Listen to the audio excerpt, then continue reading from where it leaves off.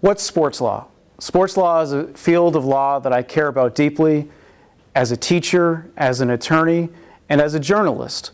I am the legal analyst for Sports Illustrated and SI.com. And let me give you a sampling of what sports law is.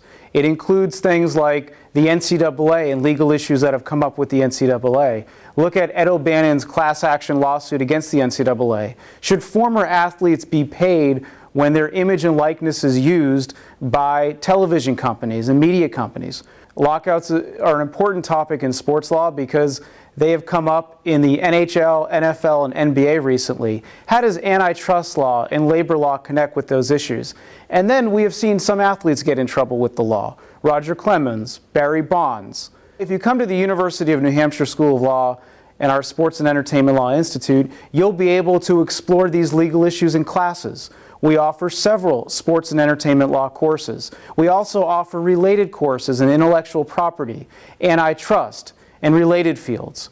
We also have workshops where you get hands-on training. You get actual exercises where you will negotiate an NFL contract, where you'll work on a movie studio related issue in terms of safety of people who are at movie sets. Certainly you'll gain a lot in the classroom, but you'll gain even more by getting real world experience in workshops, and you'll also be able to pursue legal residencies. We have a robust legal residency program where we place students with employers so they get hands-on training from those who are in the field. In sports and entertainment, the range of opportunities will be wide. Teams, agents, compliance positions at universities, entertainment positions in terms of media, also in terms of advertising and broadcasting. There are great opportunities that await you if you pursue our program, and I hope you do.